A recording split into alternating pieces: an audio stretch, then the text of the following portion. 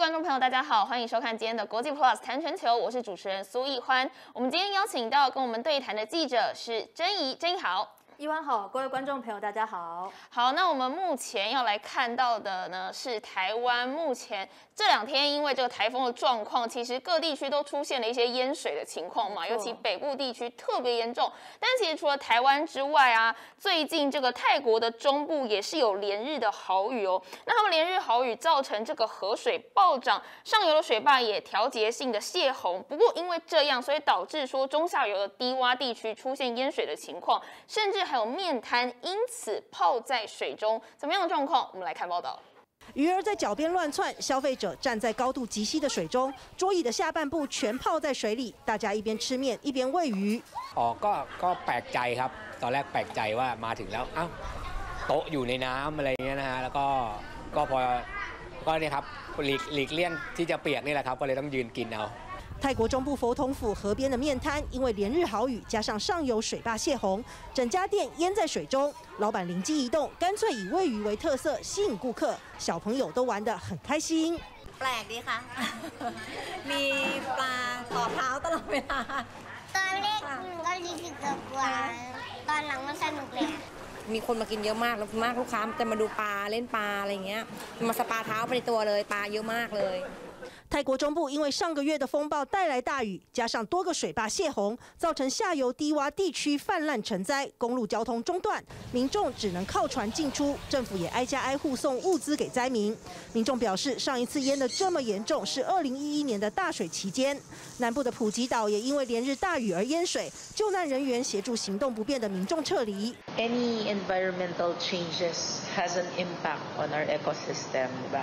其实，除了泰国，菲律宾也因为泥沙台风登陆，北部的卡加延省不止刮起十二级强风，更因为洪水连日不退，民众被迫撤离家园，农业灾损也已经达到十三亿新台币之多。TVB 的新闻综合报道。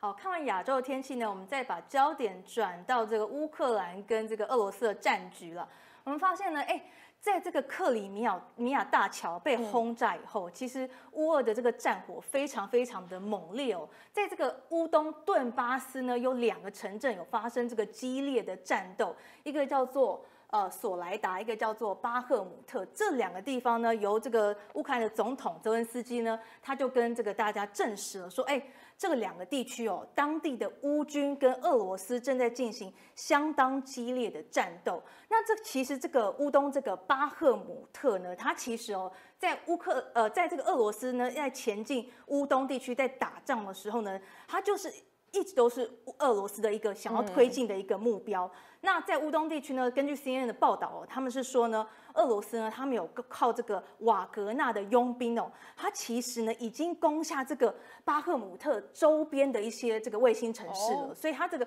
攻势相当的猛烈哦。那目前来讲，他们有呃呃，泽文斯基又讲说，哎，其实双方的这激战的又那么的激烈的话，那感觉有点不妙了。对乌克兰这个情势来说，那我们来看一看以下的报道。举目所见，整栋大楼已经一片焦黑，窗户玻璃完全碎裂，周遭还有烧黑扭曲的卡车外壳，远方更持续传来炮火声。Примерно в 7:40 утра на территории города Донецка возле администрации здания прилетели снаряды. В настоящее время возбуждено уголовное дело, проводится осмотр места происшествия. 俄罗斯指控乌克兰军队在周日轰炸由他们占领的顿内茨克市政府大楼。乌俄两军在乌东顿巴斯地区的激烈战斗依旧持续中。Зазнали ключові гарячі точки на Донбасі, Солидар і Бахмут там тривають дуже важкі бої. On social media, Prigozhin announced Thursday that Wagner forces have taken a small town on the outskirts of the city. 俄罗斯佣兵集团瓦格纳为俄军打下乌东小镇。乌克兰则是炮打乌俄边境城市贝尔格罗德，除了炸毁油库，还波及附近民宅。尽管战争还在持续，不过一连串的失利似乎让俄罗斯总统普京成了过街老鼠。塔吉克总统拉赫蒙上周在独立国协峰会上，当着普京的面抱怨俄罗斯政府和国营企业长达七分钟，不止没有人为普京开脱，普京也选择默默挨骂。当盟友们发现俄军不过是纸老虎，普京的命令恐怕也没人想再听。TVBS 新闻综合报道。好，其实先前乌克兰他们战队啊，在这个战场上所使用的重要通讯媒介，是由这个全球首富马斯克的太空公司 SpaceX 所生产的星链所提供的。不过最近就传出一个消息，说这个 SpaceX 他们有致函给五角大厦，说他们接下来恐怕没有办法继续负担俄罗乌乌克兰这个星链的服务开销。这是为什么呢？有些人就担心说，会不会是马斯克觉得这个费用太高了？不过其实在这个月十六号的时候，马斯克就在自己的这个推特上发文说，即使新链继续亏损，而且公司正爽拿纳税人数十亿元，但是还是会继续免费为乌克兰的新链提供资金哦。不过有些外媒就认为说，马斯克这个发言啊，是不是是在讽刺，又或是说他们其实真的是要继续支援乌军？其实大家目前也是持保留态度，觉得说，哎。看接下来的状况会是怎么样子？对啊，因为毕竟他这两个感觉是有点矛盾的。对啊，公司跟这个美国国防部求援，但是在推特好像又搞得好像一副哎，我很大方，我要再继续支持乌克兰哦。所以大家都还是马斯克这个想法真的蛮难让人捉摸，对，蛮让让人捉摸的。好，那讲到这个战争呢，其实对。全世界来讲都是处于一个负面的状态，但是呢，哎，如果你是卖军火的，嗯，那感觉是可以从中对赚一笔喽。好，那我们来看一下哦波兰呢，其实它就是有跟南韩来这边买很多的军事设备。我们看到，我们其实知道波兰哦，它在这个乌俄战争的时候，其实有提供蛮多武器给乌克兰。嗯，那但是它提供那么多武器后，它自己还是要有一些要有一些补充嘛，对，所以它就是跟南韩买了这些。呃，军用的设施哦，我们看到它买了什么呢？它买了这个一百八十辆 K two 的这个主力战车哦，这个战车呢，大概每四秒可以发射一发炮弹，所以而且它这个造价不便宜哦，大概光是一辆空车的话，它大概成本价大概是八百五十万美金，所以要买一百八十辆，真的是蛮大的一笔一一笔资金的一笔预算。好，那他们除了买这个 K2 主力战车呢，他们还有买一个。K 九的自走炮，K 九一百五十五公里的这个自走炮，他们买了六百七十门。那这个自走炮呢，它这个火箭增程弹最大的，呃，火箭增程弹最大的射程呢是有达到五五十公里左右。那这个自走炮，它其实都是呃韩国它对外出口蛮重要的一个武器装备之一哦。那它这个最大这个这个射程，然后每分每分钟大概是八发左右。那除了买这个战车跟这个自走炮之外呢？哎，波兰也跟韩国买了飞机，买了战机哦。他们买了四十八架的 FA 五十的轻型战机。那这个轻型战机呢，它这个最高时速有达到一点五马赫，可以达到一一点五马赫的速度来飞行。那它还有搭配一个呃高高速战术通用数据链。那它这个可以让这个呃飞机的驾驶呢，能够很更跟这个地面部队在联系的时候呢，是比较能够缩短时间的，可以更达到呃效率会比较高的一点哦。他买了这么多的这个军用设施哦，他其实大概花了台币四千多亿。所以说，真的韩国的这个工呃国防工业是已经达到一个对达到一个标准了，也是，然后赚很多之外也达到一个标准，所以说波兰才会来跟他们买，对，跟他们买。好，那我们来看到这个呃中欧跟东欧这边来看呢，捷克哦，他们也买了二十四架的 F 三十五的隐形战机。瑞士呢，他们也买了三十六架的 F 三十五 A 战机哦，他们都是跟美国来购买这个战机。哎，为什么要来购买呢？主要就是因为说，呃，乌俄战争呢，其实他们都很担心说，俄罗斯的这个虽然说他们主要是攻打乌克兰，但是他们在周就是在周边，对，会很担心说，呃呃，俄罗斯的这个军队会不会又转向跟攻击他们呢？所以他们也要加强他们自己的这个军事上面的力量哦。那我们来看到。F 三十五 A 呢，他们是在这个传统的跑道上面来做起降。那 F 三十五 B 呢，就比较不一样了，它是在呃跑道这个这个呃长度呢短一点的，它也可以来做起降，其实做垂直的起降。那所以就说这个是陆战队会来使用 F 三十五 B。嗯，那接下来这个 F 三十五 C 呢，哦，它的主翼跟垂直的尾翼面积，他们是增加了四成。那增加了这个四成呢，它这个两翼有又可以折叠收纳。那就可以挂在说这个航空母舰起降这个尾钩，所以说海军来讲话会比较常用 F 三十五 C。所以说你看这么呃有这个呃呃捷克啊、瑞士啊、欧洲这些国家来跟美国这个洛克希德马丁公司来买这么买这些飞机，其实就让他成了一个蛮大的赢家的，没错。他们赚蛮多，但是其实除了这些国家之外，我们还是要回到这个乌俄战争这边来看。其实乌克兰他们最近啊，在这个战场上，他们也是购买了一些新的武器哦。因为其实罗文斯基他现在就有讲了，他们其实还是有一些地区打的比较辛苦嘛。那他们最近和这个美国来买了什么武器其实也不是买，是美国他们来提供新的军援给乌克兰。乌克兰他们提供这个军援大概有七点二五亿美元，大概是台币两百三十二亿左右。而这批军援的内容有什么呢？我们来看到有海马斯火箭炮弹一百五十五公里炮弹二点三万枚，还有一百五十五公里的精准导引炮弹五百枚。高速反辐射飞弹跟反战车武器哦，其实这些东西是真的是蛮多的。对乌克兰来讲，其实这个是有很大的帮助嘛。那对此，这个乌克兰的总统他们也说啦，他们说乌军正尽一切的努力要来削弱俄军的能力，甚至要摧毁俄军的后勤系统跟他们的仓库，还有指挥总部。不过，其实刚刚有提到说乌东有些地区战争的状况还是蛮辛苦的嘛。所以，其实这个罗伦斯基他有说了，他说其实顿内兹克。跟卢甘斯克地区还是非常的严峻，他们还是打得很辛苦。那最艰困的还是巴赫穆特地区了，就是巴赫穆特，他们其实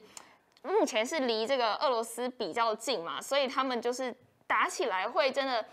反抗上比较困难了。对，尤其是乌东这边呢，本来就是有很多的亲俄的这个所谓的亲俄叛军，所以说刚刚我们在前面有提到说，这个巴赫姆特这边呢，其实他乌俄罗斯已经就是有。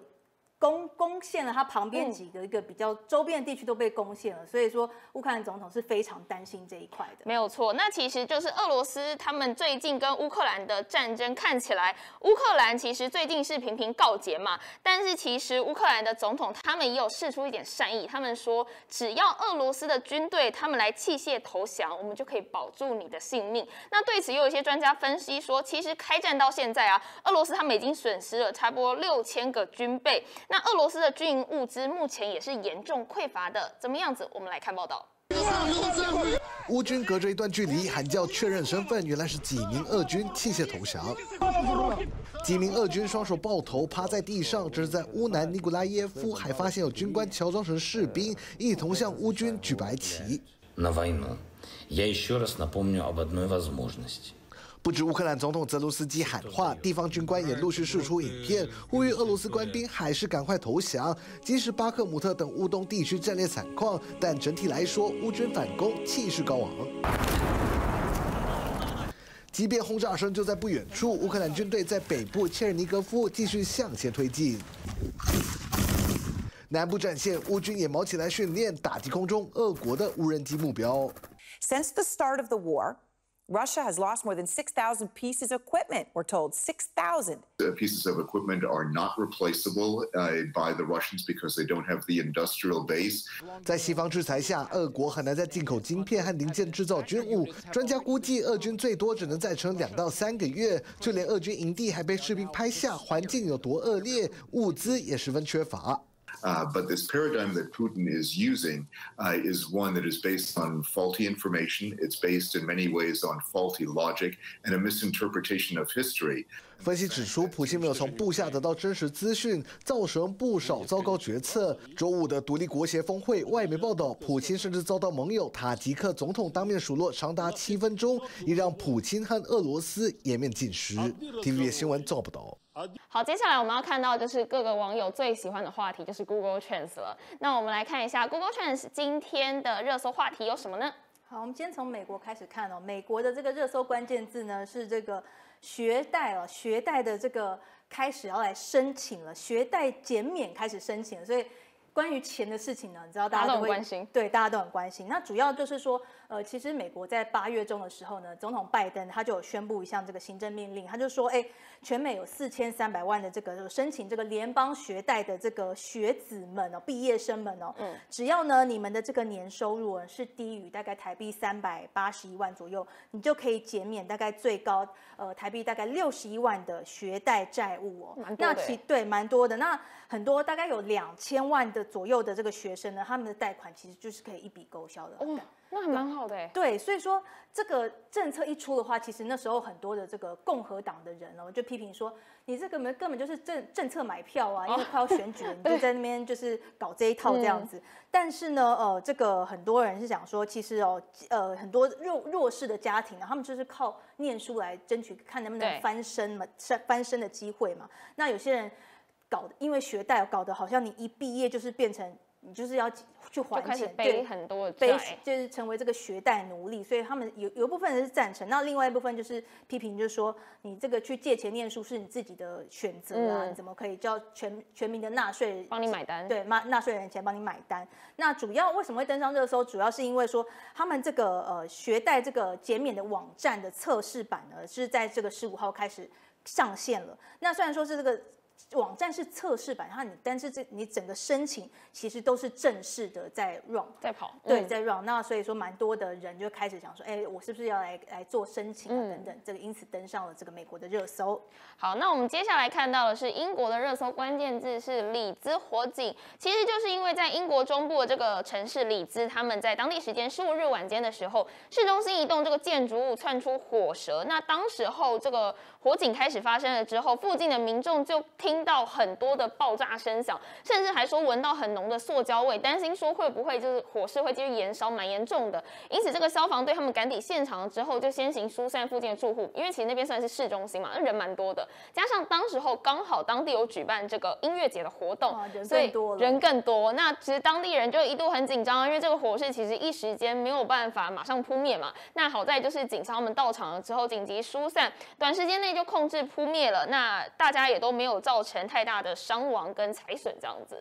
好，接下来我们看到这个热搜的关键字来到日本哦。日本他们的热搜关键字日是日本系列赛，那主要就是这个日本的这个欧力士队，他们之前是以三比二击败了福冈的软银鹰哦，要跟中央联盟的养乐多来争夺日本第一。因为他们呃日本的这个职棒跟美国也有点像，他们也是分两个联盟，一个叫是中央联盟，然后一个是太平洋联盟。那这个欧力士它是属于太平洋联盟，他他就打赢了这个福冈，要来跟养乐多是属于中央联盟来比拼。那他们其实呢，去年的话也是这两队来争夺这个冠军的头衔哦，所以说大家都还蛮关注的。他这这场比赛呢，这个日本系列赛呢，它是从呃十月二十二号礼拜六开始打，那总共就是七呃七战四胜来取得取对对对来取得冠军哦。一二六七战呢是在这个养乐多在东京的主场，那这个三呃三四五站呢是在欧力士在大阪的主场来举行哦。那大家都在关心说，哎，其实哦这两队的这个总教练他们其实都有带领过球队有非常非常好的表现，那再加上之前又是世仇的感觉，对，所以说。他们呃，在这个周末的比赛，蛮多的这个球迷，还有这个日本的民众都很关心。很关心，嗯，好。那其实相关的体育话题一直以来都是大家关注的焦点嘛。因为接下来看到这个南韩的热搜关键字，也是跟体育相关的，就是这个马约卡。马约卡它其实是这个一个球队，他们是最近在打这个西甲足球联赛，在南韩当地时间十五日的晚上举行。那马马约卡球队对上这个塞维利亚球队，那其中引起大家关注的。就是马约卡球队里面他们的这个足球天才李康仁，那他其实韩国人对不对？对他其实一直以来表现都相当不错，才被大家称为足球天才嘛。但其实当天这场赛事的时候啊，他在下半场担任首发，但是他上场六十七分钟都一直没有得分，大家觉得说，哎。你是不是足球天才？今天 状况不佳。对对对，那其实到没上来。对，那其实到后来差不多二十二分钟左右的时候，他就被他的教练换下场了。然后一直到最后，这整场比赛比完了之后，马约卡就输了，他们就输给了这个塞维利亚，以零比一输给塞维利亚。好，接下来我们看到的热搜关键字来到香港哦。香港呢，他们关心的是习近平啦，因为这个十六号刚结束，对，中共二十大结束。那他提到这个香港跟台湾的部分哦，蛮受到关注的，因为他一直强调说爱国者治港原则哦，然后要呃什呃由乱到治一个重大的转折。嗯，其实我觉得在很多香港民主派听到这句话，应该是不能接受。不能接受跟 对，但是也也无法啦。对，那讲到台湾的话呢，他其实呃还是讲到说他不不承诺要放弃武力攻台哦，然后他还是一直强调说，哎，要一国两坚持一国两制。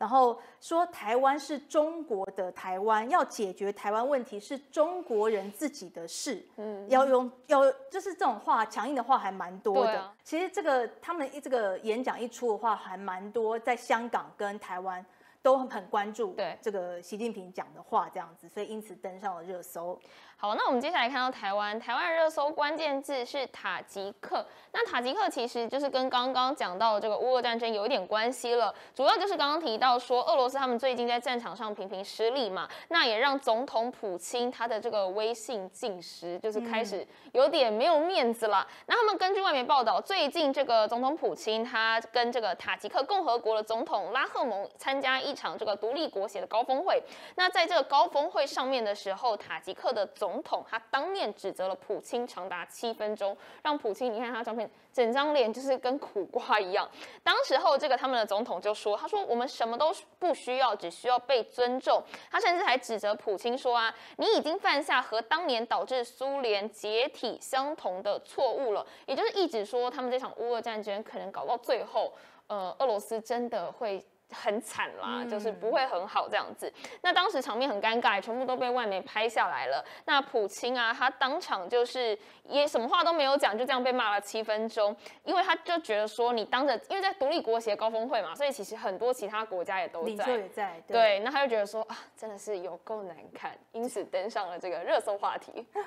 好，这个我们来看到这个新加坡，新加坡这个他们关心的是个体育相关的话题，就是世界摩托车锦标赛呢在澳洲比啦。那由这个铃木车队的这个呃选手哦李斯意外夺冠，怎么说是意外夺冠呢？因为之前的这个卫冕者是法国的一位车手，叫做呃夸特拉罗。那他其实本来大家都很看好他嘛，但是没有想到呢，他这个在这个第四个弯道的时候，他一直个不小心哦失误哦，他结果就是落后到二十二名，就完全就是追不上去了，对，不用比了这样子。那让这个冠军呢是这个拱手让人啊，那这让这个从让这个排名第十发车的这个李斯呢，以四十分五十点六五四零秒呢。领先这个第二名这个本田的车手，他们其实才他才领先零点一八六秒，所以你知道他们这个差距很近，对，非常非常的近哦。那另外一个呢，虽然说我们刚刚讲到说那个夸特拉罗他失去了这一场比赛的冠军，但是因为他之前的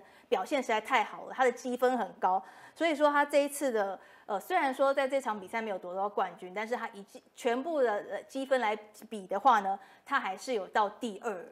对，那还是很多哎，对，还是蛮厉害的。这场比赛呢，因为蛮多，因为新新加坡人对于赛车，比如 F1 赛车啊，或是这种摩托车赛，对，很关注，所以因此登上了热搜。好，那我们看完 Google Trends，我们接下来要看到的还是乌俄战争了。刚刚前面有提到的，就是这个克里米亚大桥被炸了之后，后续引发了一些什么样子的讨论呢？是不是说真的核战要再次开打？真的是这样子吗？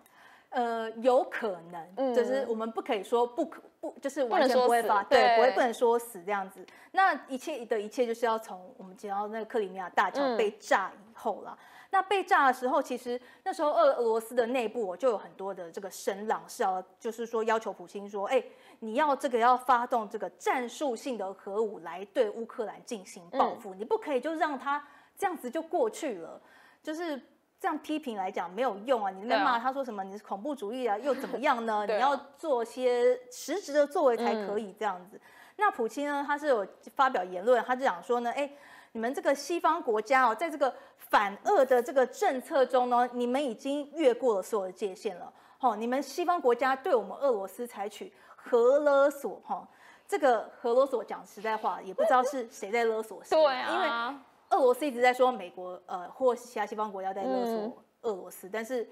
相反的，西方国家也是说你们俄罗斯才在一直用核武来勒索其他的国家，所以谁在勒索谁呢？不晓得哈。那他呢还讲说呢，哦，这个你们用这个使用这个大规模的杀伤性的武器哦，小心我们俄罗斯在某些的这个装备上面其实是领先你们外国的军事设备哦，小心风向可能会转向你们。在我各种威胁的对，要这个互相呛下一下。那这个俄罗斯的外交部长这个拉夫罗夫呢，他是讲到说，他比较保守一点，他讲说、嗯莫斯科不允许爆发核战，那他是致力于这个五个核大国领袖这个声明哦，嗯。他说必须要防止有核国家间的这个武装冲突，嗯。他讲了。这些话以后，嗯。但是他又讲说，嗯，其实啊，我们俄罗斯啊有个这个国家核威慑政策。如果说呢，在这个面临啊什么呃我们武呃武器啊什么被侵略啊，国家生存受到威胁下呢，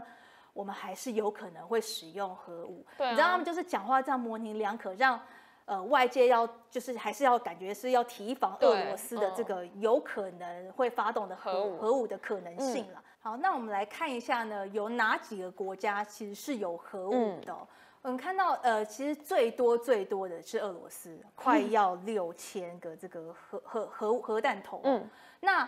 第二名的话呢，其实是北约加起来了。哦哦，对，北约加起来的话，其实美国是第二，五也是五千多枚，5400对，紧追在俄罗斯后面。那接下来呢是法国还有英国，都是快呃，法国快要三百，那英国嗯是两百多这样子。嗯好，那接下来的话呢，就是中国啦，然后三百五，接下来巴基斯坦、印度、以色列跟最少的北韩哦。所以说这个感觉起来的话，其实俄罗斯真的有这个他们是确实有这个筹码可以跟你对，跟你短碎瞎的啦。嗯那其实一个核弹，它就是他们释放出来的这个能量有一百万一百万吨当量，是非常非常的大的。那其实这九个国家哦，大概呃都是拥有核武嘛，但是呢。不是每个国家都签了这个不扩散核武器条约，嗯只所以有呃只有大概说只有中国、法国、俄罗斯、美国、英国等一百九十一个国家，他们签了这个不扩散核武器条约。那有哪几个国家没有签呢？第一个就是印度啦，嗯接下来是以色列，然后还有巴基斯坦。那呃，以色列它是完全都不呃，他都没有正式承认说他是这个核核计计划国，嗯所以他就是走一个他呃自己自己的路，对，走自己的路，他就是完全不鸟这个东西就对了。好，那我们看到说，其实啊，核武的呃这个杀伤力真的非常非常的大。如果你一个这个破破坏性，其实要嗯看它你这个放放下去的时候的对，嗯比如说你这个弹头的大小啦，或者是说你离地面多高的时候引爆，哦还有说看当地的环境来决定说可能会发生什么样的破嗯坏性跟灾害。一个就是可能会产生火球，那你可能房屋啊、物体的这个生命是等等会被摧毁，或者是它可能会有这个爆炸的冲击波，那可能会造成人员死伤、房屋屋的损坏。那还有就是它会产生辐射，会损害人体的细胞，导致人类呢会产生这个放射性的疾病。接下来还有这个电磁的这个脉冲哦，会引爆数公里外的这个电子设备，还有说。放射性的这个坠尘哦，这个坠尘呢，落地的尘埃啊、碎片等等，有可能会产生一些疾病，所以核子武器真的是、呃蛮非常非常的可怕。对对对。那我们来看到，其实核武它其实又分两种，嗯，有分所谓的战术性核武跟战略性核武。嗯那战术性核武呢，它的其实爆炸的威力是比较小的。我们可以看到，它主要呢是攻击，比如说这个敌人的基地，嗯然后是机场、港口或是大型部队的车辆集结处哦。那他们这个爆炸的可能可能会用到的这个武器呢，是哦传统重力的炸弹，然后或是精灵炸弹、巡弋炸弹、中短程的飞弹。榴炮弹、鱼雷等等，那它可以依照呢这个目标的特性，还有战术的需求来调整这个爆炸的威力，它是比较小的哦。对但是如果说你是战略性的核武的话，哇，它你是它这个主要是在攻打敌人后方的东西，这边是。战术性核武是攻打敌人，比如说攻打基地。嗯。可是战略性的话，你看它是攻打敌人后方的城市，城市。就是会攻击到民众的。嗯。对，那呃，比如说像一些大型的基础设施啊、车站啊等等之类的哦、还有这个炼油厂，还有高政高政治经济价值目标，比如说呃晶片，比如台积电的哦晶片的工厂等等之类的。那它可能会使用的是这个射程呢超过五千五百公里的这个飞弹哦，像是这个陆基的洲际弹道飞弹，还有潜射的洲际弹道飞弹，或者是大型的轰炸机等等。其实像这个二战的时候，呃，美国那时候在日本广岛跟长崎投下的这个嗯原子弹，都是这种就是属战略性的于对战略性的这个核武，所以是蛮多的。呃，因为乌俄战争哦，让这个大家开始对于核武的这个讨论又开始多了起来。没错。那我们有访问到呢，正大外交系的副教授黄奎博黄副教授来替我们解析，俄罗斯到底有没有可能发动核战？在核武国家之间，这个核武的使用一直是选择之一，只是在历史上面，我们还没有看到核武国家在二次大战结束之后呢，他会使用核武。对付另外一个不管是有核武或者没有核武的国家，所以我们只能说，从几率上而言，还有从最坏情境的判断而言，俄罗斯当然可能会使用核子武器攻击乌克兰。只是说，这样的几率从二次大战之后，我们可以想一想，从一九四五年到现在，已经差不多快要八十年，都没有发生过。那么这一次会不会发生呢？什么事都有第一次，可是目前为止。呃，看起来就是俄罗斯它在乌东地区的这些军事的态势还没有那么的居于劣势。虽然说这个乌克兰政府拿回了几千平方公里的土地，但是我们不要忘了，乌克兰的总面积有六十多多万平方公里。那这个乌东其实也被拿去了很多的领土啊，所以其实现在看起来是乌克兰暂时占了上风，可是整体而言，大部分的领土还在俄罗斯控制之内。所以我大胆的判断，目前俄罗斯使用核子武器的这种念头啊，几乎趋近于零。但是未来，也就是说，第一点，如果在乌东的战事对俄罗斯真的是极度的不利；第二点，如果美国介入乌克兰这个冲突的局势更加的直接、更加明显的时候，譬如说乌克兰突然被同意可以准备加入北大西洋公约组织了。像这些情况之下，我觉得核武的使用才真正应该要被拿出来认真的讨论。核子国家之间相互的战争，呃，就这样讲吧。二次大战之后应该是还没有发生过。那么会不会美国跟北约因此而对俄罗斯俄罗斯施加了更高一阶的报复，甚至牵扯到核子战呢？我还是那句话，就是几率永远不可能是零啊，但现在看起来是非常的小。而且呢，如果真的很不幸进入到美国跟北约可能要动用核子武器的时候，那么在这个状况之下，应该是所谓的有限度的使用核武，也就是所谓这个区域型的啊战术核武。那但是不管怎么样，使用之后呢，呃，包括像美国在欧洲的一些核武的储藏点，可能会被俄罗斯的火箭或者导弹所摧毁。那俄罗斯它境内的一些核武设施可能也会被摧毁，但是这只是表面上。更进一步想，当然就是变成欧洲一定有一些这种核辐射的污染，还有一些民生、工业、能源等等供应的断绝。那这些都是其他可能没有办法这个及时把它再补救回来、修复回来的状态。所以我们看到了核武国家之间从来没有使用核武。其中一个原因就是使用下去的话，它的影响太大。我们在国际关系里面有一种说法叫做相互保证毁灭。相互保证毁灭呢，英文叫做 mutual assured destruction，正好简简写是这个 MAD，正好就是英文疯狂的意思啊。所以它是一个很疯狂的主义。但是谁说疯狂的主义在人类历史上没有出现过呢？所以我只能说，俄罗斯跟美国现在。他们的相互的这个喊话，看起来发狠的是俄罗斯这一边，美国跟北大西洋公约组织还是希望能够把局势拉在可控，不要升级到可能的核武对峙上面。好，我们看完乌俄战争这么沉重的话题，我们来看一些比较轻松的。轻松的就是这个智利的复活岛摩艾石像，你以前去过吗？没有去过，只有在。美式大卖场有看过在卖，你说那种超大型的放在门口的那种，对对。其实我真的很喜欢摩艾石像，就是我会买他们一些各种它的装置艺术或者是它的小物，因为我觉得就是很疗愈的感觉吗？对，我觉得很好，很可爱。但是呃，因为智利复活岛真的太远了，就是而且加上最近又因为疫情的关系，所以你根本没有办法出国，想要去也不能去。不过前阵子这个智利复活岛摩艾石像，他们因为有森林火灾，所以一度有呃停止开放，一直到最近就是今年的八月的时候，它才重新开放嘛。但是他们重新开放了之后，最近又发生了火警，大概是什么样的状况呢？其实我们来看到，根据外媒报道啊，这个复活岛上他们原本有这个八百多座的摩红外石像。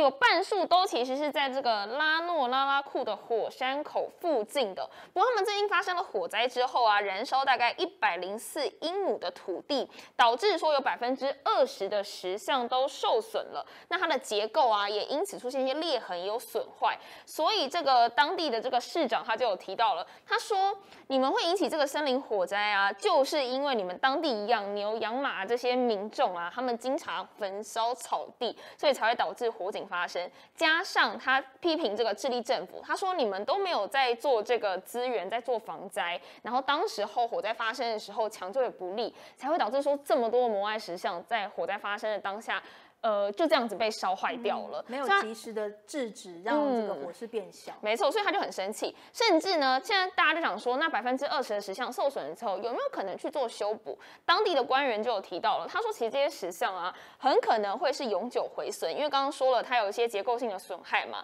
那它可能没有办法再去做修补，因为其实这个石像真的已经很久了，所以你没有办法去做修补之后，它可能就真的。加上，因为那个石像都放在沿海地区或者是一些空旷的地方，每天也是这样子风吹日晒，所以它有一些还会因此倒塌，所以他们就觉得说，那你直接被烧坏掉，就是真的就坏了，真的就都没有了，没救了。那我们来看到，其实这个。摩艾的石像为什么会引起大家这么大的关注跟这么大喜欢呢？我们说了，就是刚刚他讲到说，他过去因为疫情的关系，他关了大概两年左右嘛，所以大概是有八百六十八天这么多。那他在这今年的一月，呃，今年的八月一号重新开放了之后，当时候首批来这个智利复活岛游客就有大概两百三十人，表示说其实这个摩艾真的很受大家的欢迎嘛。那其实我们从复活岛来看。当时候这个岛为什么会被大家发现呢？其实据传是在一七二二年的时候，印呃荷兰西印度公司的探险家，他们当时率舰队。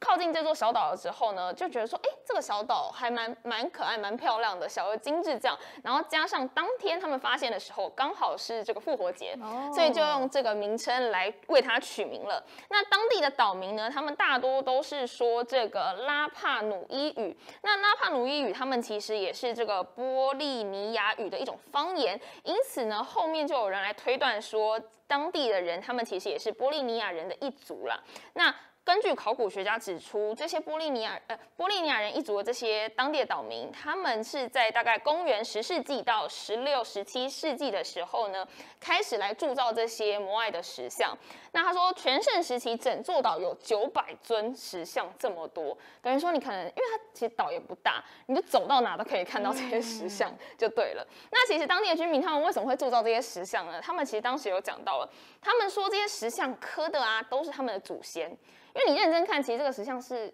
人的脸嘛，人的脸，所以他们说他们这些石石像刻都他们祖先，就是在祖先过世了之后要保存他的力量，因此将他们埋葬在这个祭祀平台，并且安放在摩艾石像上。然后像我刚刚讲的，就放在一些这种沿海地区或者是一些比较空旷的地方，像在看顾着大家这样。然后岛上的居民也觉得，哎，这样比较心安，然后有他们的保护这样子。不过像我说的，就是因为这些地方它常年这样风吹日晒雨淋啊，有一些。石像就有毁损，加上就是这几年来他们智利的一些政权更迭，那有一些人可能对这个石像比较不是这么的喜欢，因此一度有一些石像在这几年下来有被推倒，人为的破坏了。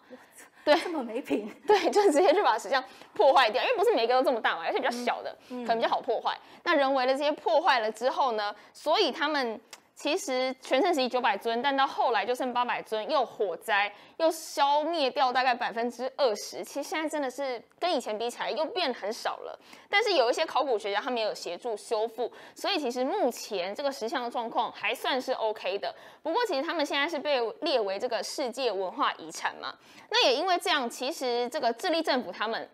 也一直想要把这些石像，想说可不可以。运一些到博物馆里面来，让可能智利这边的人，就是只没有到复活岛去，但是智利这边的人也可以来看，或者来智利旅游的游客也可以来看。先前就曾经有过，在这个呃一八七零年代的时候，智利的海军呢，他们就有将一座摩艾的石像搬移到智利的首都圣地亚哥。那他搬到首都去了之后，其实智利复活岛那边的人其实就不太开心，然后加上一些文化学者，他们也觉得你不可以这样擅自的移动这些石像嘛。一直到一百五十年后，也就是呃今年的二月初左右的时候，他们终于说把这尊石像要重新移回这个复活岛了，还给当地人。对，但是这个石像我刚刚讲到很重，然后很大，你要怎么移？那我们可以看到，它其实当时候它是先从这个卡车把这尊石像呢载到这个智利的港口，这个重量大概有七百一十五公斤这么重。那现在到港口了之后呢，再用这个军舰。一路这样送送送送送，搭了五天的船才送到复活岛回去。对，但是因为送回复活岛了之后，其实呃，他当初被。从智利当地呃移到智哎，从复活岛当地移到智利的城市之后，对，其实它就是已经建，你现在已经一百五十五一百五十年，你也不知道它当时候确切的安放位置是在哪边嘛，所以这是重新移回去了之后，他们就把它放在这个人类学的博物馆里面。那对此，这个智利的文化部长也说，他说这是摩艾石像第一次从南美大陆返回岛上。别具意义，因此这些岛民啊，他们也很开心，他们就在这个历史博物馆表演一些传统的舞蹈来欢迎，也是有保佑祖先石像跟保佑大家平安的意思，大家都很开心，因为毕竟石像又回来了。对，因为你复活岛就是摩艾石像为主嘛，那你把石像移走了就。一点都没有那个意义在了，对啊，没错，没有错。那我们今天的这个国际 Plus 谈全球，目前的这个节目就到这边一段落。请支持专门报道国际新闻的全新 YouTube 频道 TVBS 国际 Plus，扩大视野，掌握趋势。邀请您订阅并且开启通知小铃铛。